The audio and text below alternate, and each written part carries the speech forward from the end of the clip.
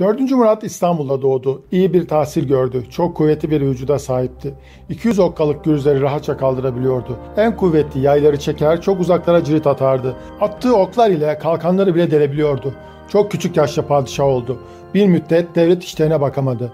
Devrinde 1624 ve 1625 senelerinde Anadolu'ya iki sefer yapıldı. Celal isyanlara bastırıldı. Çok değerli bir şair olan padişahın daha çocuk yaştayken Bağdat'ı muhasara eden ve padişahtan yardım isteyen sadrazama verdiği manzum cevap çok meşhurdur. Hafıza, Bağdat'a imdad etmeye er yok mudur? Bizden istimdat edersin, senden asker yok mudur?'' Genç Osman zamanındakinin bir benzeri olan ayaklanmayı çok büyük bir ustalıkla bastırdı ve tesirsiz hale getirdi. Çok tesirli bir nutukla asileri bile kendi lehinde tezahürat yaptırdı. Sonradan da bu entikaları çevirenleri birer ikişer yakalatıp idam ettirdi. 1633 senesinde tütün yasağı koydu. 1634'te içkiyi yasakladı. Devlete bağlılığı olmayan herkesi idam ettirdi. Düzenlediği bir doğu seferinde Bağdat'ı fethetti ve 1638'de Bağdat Fatihi ünvanını aldı.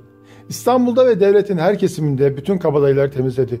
Çok geniş bir haber alma teşkilatı kurarak imparatorluğun her tarafındaki zorbaları ismen tespit ettirdi ve sefere çıktığında geçtiği yerlerdekileri ismen çağırıp boynlarını vurdurdu.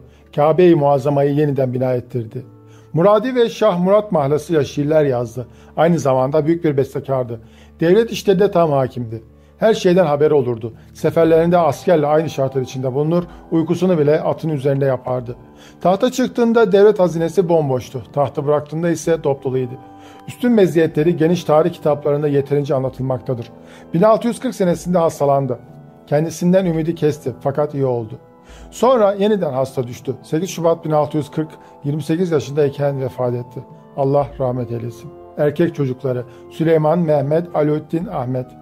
Kız çocukları Safiye Sultan, Gevarhan Sultan, Kaya İstihan Sultan, Rukiye Sultan, Zeynep Sultan, Rukiye Sultan.